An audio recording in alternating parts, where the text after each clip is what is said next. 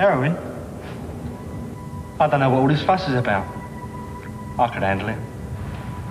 Okay, so I do heroin a bit now.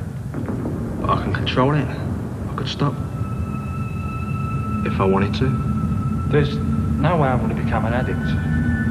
I just do heroin. It's no problem. Look, I've got this thing under control.